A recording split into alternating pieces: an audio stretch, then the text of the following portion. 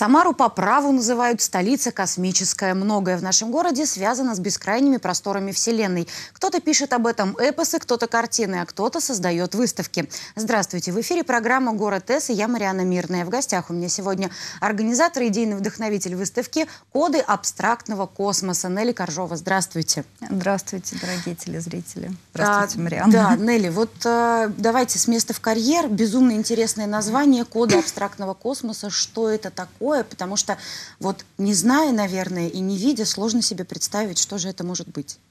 Но ну, мы хотели поговорить, а, во-первых, о идее космического как таковой, и привязывались к дате вот этой совершенно прекрасной 55 лет а, полета человека mm-hmm. в космос, с одной стороны, а с другой стороны, мы пытались вычленить какие такие соответствующие великие даты, вот, например, в искусстве да, последнего там столетия. Это 150 лет Кандинского. И а, мы решили пригласить на этот проект куратора из Москвы Виталия Пацукова. И у нас достаточно большая программа, которая охватывает весь город, потому что это идет в рамках программы «Улица как музей, музей как улица», поскольку мы с вами встречаемся, наверное, не первый раз, мы все-таки живем в одном городе. Вы, наверное, знаете, что а, основа этого такой программы – это выставка на остановках общественного транспорта. Угу. Потому что очень важно выносить выставочное пространство вот буквально к людям. Посмотрите, как устроена Самара. Ведь, собственно говоря, если посмотрим на карту, это такая распахнутая птица. Да? И только вот клювик этой птицы называется словом «старый центр», угу. и там сконцентрирована вот какая-то такая музейная жизнь. А вот остальное все тело этой великой птицы под названием Самара, оно как-то лишено. Поэтому мы стремимся преодолеть вот этот разрыв между музеем и человеком с улицы, потому что больше всего мы живем на улице, да, дома, в пространстве города, вот это ну, движение. Действительно, очень многие люди, когда их спрашиваешь, когда ты последний раз был на выставке, и кто далеко живет, допустим, в рамках, Да, они там, говорят, да того ли голубчик да было. там доеду и так далее. Конечно. И вот эта программа, выставка на остановках, она называется «Улица как музей, музей как улица», потому что это одновременное экспонирование произведений на а, в городе на остановках общественного транспорта и в, в музеях. Вот эту программу мы начали в 98 году. Это вот уже, считайте, в прошлом тысячелетии. Конечно, давненько. И это одна из самых крупных программ паблик-арт, вот такая целеустремленная, я бы сказала, в России. Вообще, я не знаю вот аналогов, чтобы на остановках угу. так долго шли проекты. И здесь хотелось бы сказать, что еще не все люди, э, не то что вот не любят ходить в музей, а нет привычки, даже среди молодого населения, потому что ну, музейная атмосфера, она как требует особого поведения, да, одежды, там, этикета, знания. Угу. И некоторые считают, что это не вполне соответствует вот ритму города. Поэтому, а остановка соответствует. И вот это вынос произведения на остановку, он, с одной стороны, очень мобильный, а с другой стороны, это вот образовательный такой аспект, но не назидательный. Вы просто смотрите фамилию художника, как на нее реагируете, можете прийти домой и загуглить. И, кстати сказать, это огромная зрительская аудитория. Одну остановку в день, вот одну картинку, просматривает от 5000 человек. Вот умножим на 30, на 15 получим а, более миллиона. Но ведь здесь же еще идет такой момент, что э, человек что-то запоминает и откладывается в его душе, в его э, мыслительном а процессе. Пролетает. То, что просто внезапно попало в поле зрения, да, и тем не менее это откладывается, и потом внезапно он может эти знания и воспроизвести. Почерпнуть. Ну, вот вы совершенно верно заметили, что вот эффект неожиданности. Кто-то вот уже знает, что эта программа идет, да, и он готов, и там каждый год, иногда два раза в год мы показываем разные а, выставки на разные темы. Вот в этом году общая тема кода абстрактного космоса. И мы решили, что вот в этом году мы пойдем, можно сказать, на такой эксперимент, потому что в основном мы приглашали... Это международная программа, во-первых. Mm-hmm. Приглашали мы художников из разных стран. Вот последние годы там из Швеции вы видели много, из Германии, Франции, Италии. Вот в прошлой осенью мы показывали там персональную, можно сказать, выставку Юрия Альберта и Виктора Скерсиса. Это такие ну, громкие, угу. я бы даже сказала, громадные уже имена на сегодняшний день. А в этот раз мы пошли на эксперимент. И, собственно говоря, вот решились на то, что в выставке на остановках участвуют студенты московских вузов. Угу. Архитектурных, э, полиграфических. Вот они создали такое объединение, группа Т. И это молодые художники, которые, вот, собственно говоря, рефлексируют на э, чтобы это было более понятно, не только вот идею космического, а на идею авангарда.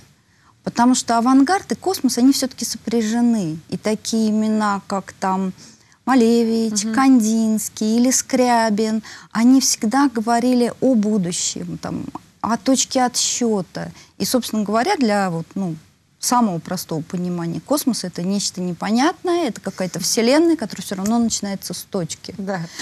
Вот, собственно, об этом Вот э, такой хотелось бы момент тоже уточнить и обсудить. Вот смотрите, э, понятно, что в Самаре, в нашем городе, очень трепетно относятся ко всей э, вот этой космической тематике, что нам есть чем гордиться в этой области. И мы э, наполняем это, ну, в хорошем смысле пафосом, наверное, да, вот эту тему, что и Самара столица космическая, и много посвящено этому и так далее. И будут, будет множество всяких торжественных мероприятий в связи с Днем космонавтики, да, mm, вот. Естественно. А, но по большей части это все-таки больше такое какое-то, ну, массовое и производственное, что ли, тема. Здесь у нас более культурный подход да, э, к этой теме, и мы как-то с другой стороны пытаемся еще привлечь э, людей, которые, может быть, далеки от техники, но близки к культуре, да, и тем, и тем самым объединяем, наверное, да, каким-то образом людей, которым э, не безразличен космос, но не безразличен с разных сторон, там, с культурной, с ну производственной, с социальной. Да. С, Спасибо, да, за такую тему, потому что ну, такой большой, я бы сказала, не только художественный, философский вопрос, потому что люди всегда задумывались а насколько Земля вообще одинока, если другие миры и художественная мысль здесь всегда как бы работала на опережение. Она mm-hmm. работала в разных аспектах. Не только художественная, религиозная, к примеру. Да? Всегда было понятие о том, что есть еще какие-то миры. Они же связаны не только там вот с пониманием там загробной жизни, а и космоса тоже. Mm-hmm. Это вот некая такая бесконечность, которая растянута и назад, и вперед. И мы все время думаем о будущем, и вот эта цепочка будущего, она все время нас отсылает и к прошлому. И, собственно, вот сейчас мы хотим поговорить о о том, как это связано, как это простраивалось. Потому что до полета в космос были множество предчувствий космоса. Предчу... Знаете, вот этот знаменитый фильм «Космос, да, космос как, как предчувствие». И большое спасибо, конечно, Самарскому а, Самаре Космической музею, который вот наш партнер. И э, там будет показана в основном видеовыставка. Это будет эм, пять видеопроектов. Там Чернышова, Тишков. Вот о Тишкове хотелось бы особенно сказать. У него такая замечательная а, работа. Вот я все время забываю, как она называется. Там а, смысл в том, что он а, одевает ватник с угу. крыльями и взбирается в, в, в это, на Уральскую гору. Это, собственно, вот место, где он родился. Угу. И вот это, знаете, желание прорваться через все. Не обязательно вот в фэшн-одежде, знаете, которая такая гладенькая, uh-huh. вся сверкает, и вся эта самая такая э, фешенебельная. А люди стремились идейно, пускай даже в ватнике, и здесь, и, и, но с крыльями, и в белом снегу, mm-hmm. на морозе. И здесь вот множество каких-то подсмыслов рождается. Потому что как собирались эти ракеты, в каких условиях, вот этот, даже вот, да, мы говорим слово «байконур», mm-hmm. у нас же нет глянцевой картинки. Мы понимаем, что а, люди работали на идею, и это... Ну, альтруисты своего рода. А, не только альтруисты. Альтруисты — это немножко вот люди, которые делают что-то хорошее, и они понимают, что за это не заплатят. А ученые, художники — это люди, движимые идеей, угу. когда ты не можешь сказать себе «нет», потому что, собственно говоря, она затягивает тебя больше, чем реальность. Вот выставка немножко вот об этом тоже. А, хочется э, тоже вот э, поподробнее, какие все-таки э, увидят люди картины, экспонаты, видеофрагменты, видеоматериалы, кроме вот этого человека прекрасного с крыльями. Что там будет? На что вообще к чему душу свою готовить? Трепетную? Вообще выставка называется «Горизонты безвесия». А, и а, там помимо вот видеопроектов, которые будут все-таки составлять основную такую угу. часть, ну почему? Потому что вот э, все-таки это э, проект целиком делится блоками на улицу, где угу. будут показаны плакаты. Но вот э, со, само инсталлирование выставки в городской среде, оно же тоже связано вот с, с нашим восприятием как кино потому что все мелькает. Вы не можете вот даже сфокусироваться на конкретной остановке. Там постоянно едут машины, идут люди, и вы как бы как человек в кадре тоже. Угу. И поэтому достаточно логично, что а, вот в Самаре космической базовой форме будет представлено вот э, видео, угу. которое будет говорить о повседневности человека, который, допустим, там вот у Ольги Чернышовой там видео человек лежит на лавке в большом городе, и это тоже вот как бы часть Вселенной. Является mm-hmm. ли он частью Вселенной? И для нас эта тема очень близка, потому что вот что такое еще и улица, особенно вот для россиян? В чем, да, допустим, отличие от, от Европы? Человек в Европе выходит на улицу, ну там в Германии, к примеру, и он чаще оказывается даже, может быть, в более комфортных условиях, чем дома. Там чище, спокойнее. Тут вышел на улицу, вот я сейчас к вам ехала, и сразу борись. Сразу ветер, бездорожье, грязь, толпа, еще что-то такое. Ты, собственно говоря, находишься вот в неком хаосе, да, в неком таком космическом пространстве. Поэтому это тоже вот один из аспектов, как себя чувствует сегодняшний человек там. Современные вот творцы наши, они, я так понимаю, очень с удовольствием готовы креативить, да, на тему космоса э, и то, как они это воспринимают вообще эту тему, потому что это же не только, да, вот эта пресловутая точка, это не только темнота и звезды, космос, это получается вот, это, это все, и то, и это. Ну, мне кажется, это, конечно, благодатная тема для всех э, художников всегда. И она все время звучит современно. Вот знаете, вот я вспоминаю детство, там вот когда говорили слово космос или Гагарин, сразу была, был первый ассоциативный ряд, что это современно. О, так сказать, проходят там годы, и это опять современно. А когда смотришь, простите, к примеру, там средневековые фрески, где угу. там Адам и Ева и сотворение мира, и опять-таки рука, касающаяся сферы. И ты понимаешь, что на тот момент это тоже было очень современно. Угу. Это вот такая э, сама по себе крайне современная тема. Она всегда такой будет.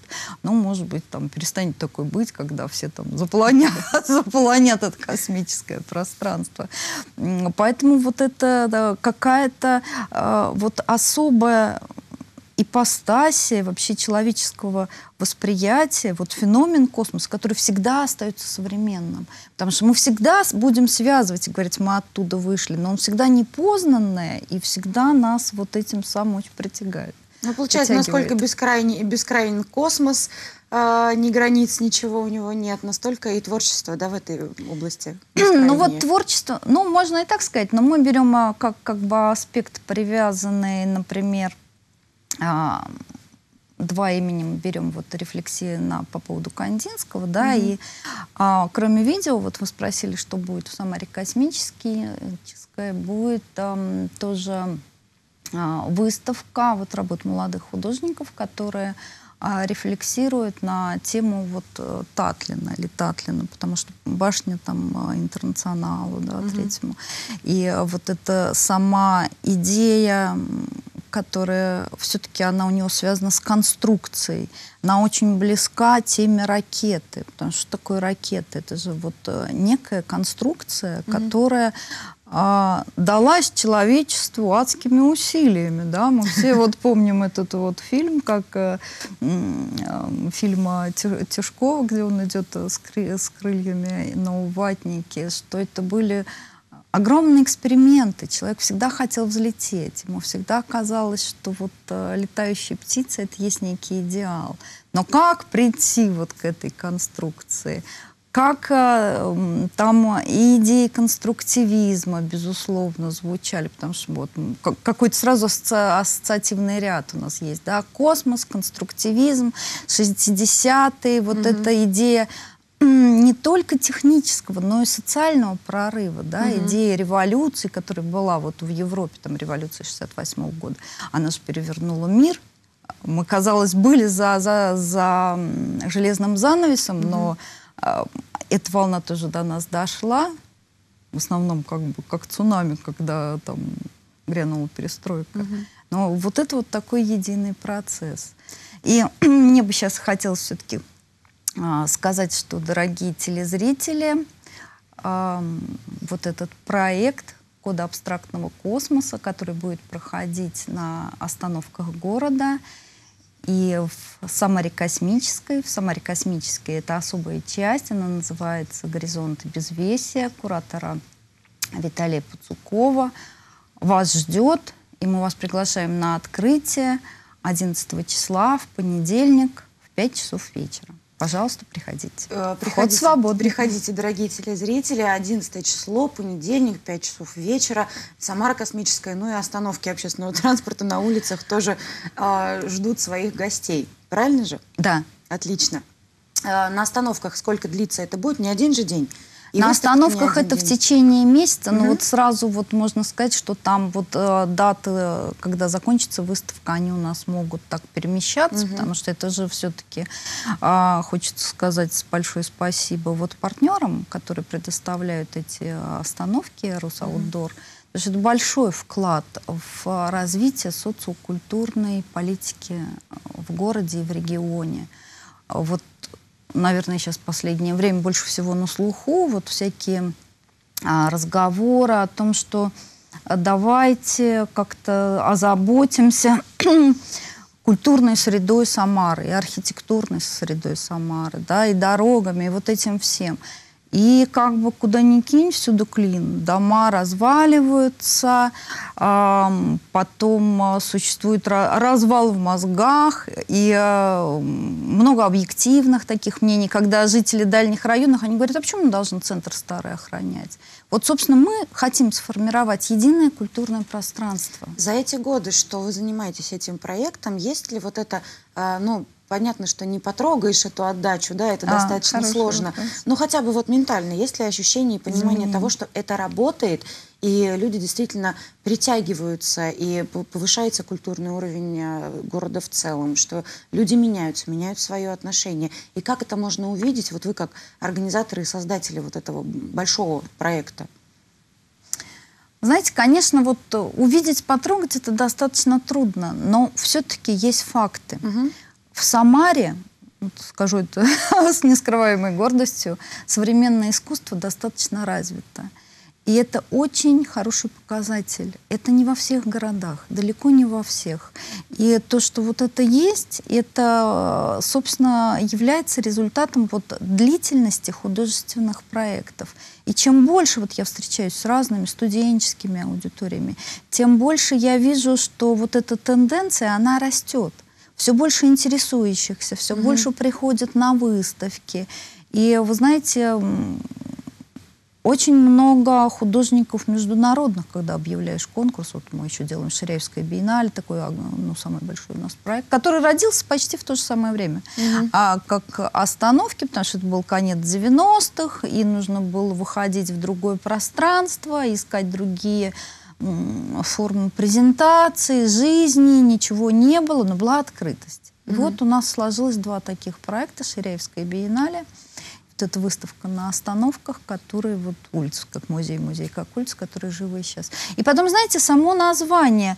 А, люди совсем по-разному реагируют. Вот а, напишешь а, кому-нибудь, вот ну, приглашаем к участию в проекте. Люди там что-то загуглят, и потом тебе пишут. Я все понял. Самара, она же действительно как музей. Это уникальное место. Там у вас горы, Волга. То есть люди понимают, что Самара это вот некая такая жемчужина, как Венеция. А почему нет? К этому надо стремиться. стремиться Не конечно. только критика, надо и вот эту вот часть тоже осознать. Ну вот смотрите, правильно же, э, вот мне кажется, что если человек, э, новый, молодой человек, да, подрастающее наше поколение, если оно уже будет расти вот в этой э, сфере, когда даже на остановке общественного транспорта тебя окружает что-то хорошее, прекрасное и познавательное, да, то есть ты можешь что-то почерпнуть, то это уже и человек другой формируется, не тот, который формировался э, там 20-30 лет назад. Это же уже по-другому э, человеческий характер даже воспитывается. Да, если но ты... постоянно его вот к этой культурной теме, ты здесь, там, то есть если его будет окружать э, вот, вот, вот эта вот такая тема, то и люди ну вот 20 лет назад еще и остановок-то этих не было, а 30 вообще не было рекламы. А сейчас это очень актуальный вопрос, особенно для молодежи. Почему? Потому что они растут э, в поле тотальной рекламы. И это очень тяжело. И она не всегда бывает э, достаточно культурной. И даже если она веселая и говорит, mm-hmm. не дайте себе засохнуть, то как бы любой молодой человек э, все равно понимает, что вообще-то тебе хотят что-то продать. Угу. А здесь, когда они встречаются с произведением искусства, они просто задумываются, что хотел сказать автор, почему это обращение ко мне.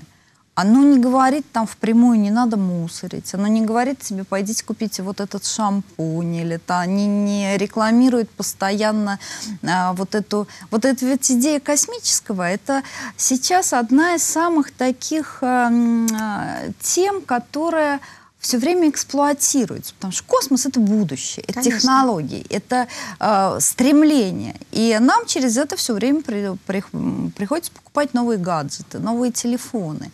И, и молодое поколение, ну, это считывает на раз. И тут вдруг раз тебе говорят о каких-то вещах, э, интересующих там, допустим, тебя, или можущих заинтересовать, угу. да, могущих, но ничего не продают. Вот это я сколько раз отмечала, ну, важный такой аспект. Мы пытаемся работать в поле рекламы, и э, здесь, знаете, еще ни разу не было такого, э, что реклама выдвинула какую-то художественную идею, а потом поле искусства ее взяло. Всегда наоборот. наоборот. Две минуты у нас остается буквально до конца эфира, но не, хочется задать вопрос. Вот смотрите, раньше всегда все, когда еще не осваивали мы активно космос, но всегда э, действительно и картины писались, и какие-то произведения литературные, mm-hmm. и очень много из этого стало явью. Э, да, тех людей, кто рассуждал на тему космоса так или иначе. Сейчас если что-то вот в этих произведениях, mm-hmm. которые мы увидим, того, чего еще нет, но оно имеет шансы стать явью через Марианна, спасибо. Время. Вот прям вопрос, который вот как-то я его ждала. Вот, собственно говоря, выставка-то о беспредметном искусстве. Кандинский, Малевич, Татлин, да, и а, а современное э, вот беспредметное искусство, искусство знака, квадрат, треугольник, оно сейчас ближе всего подходит к нам. Оно уже вытесняет слово, цифру. Мы все сидим в Фейсбуке. Там вам вот был только один лайк раньше, вот этот, а сейчас там вам уже и кружочки, и квадратики. То есть язык кодов абстрактного космоса, он буквально входит в нашу жизнь и практически вошел. Ну, то есть мы можем потом, да, через 10 лет обнаружить, что кто-то из Мы авторов... сейчас это уже обнаруживаем. Это, это уже наша с вами жизнь. Откройте свой телефон. У вас там все в знаках это в беспредметных знаках. Они же, собственно говоря, ну, какие-то это кружочки и точечки, но вы их отличаете, вы, а, вы вкладываете свою эмоцию, вот э, там э, красный, допустим, треугольничек или сердечко, вы понимаете, что это радость, да, как, как негативная реакция будет изображаться по-другому. Угу. Собственно, вот система знаков, она сейчас а, используется более всего. И и лексика того, гляди, исчезнет, к большому сожалению. Но в переписке-то уже, да, сокращается количество слов и переводится Почему? Потому что мы вот к этой системе кодов стремимся. Мы понимаем, что это какой-то общее поле знаний, которое мы осваиваем. Спасибо вам огромное, что пришли. Безумно интересная беседа. А, еще раз зрителей приглашаем 11 апреля на открытие выставки кода абстрактного космоса в 17.00 в Самаре Космической. Проведите выходные, используйте с удовольствием. До встречи.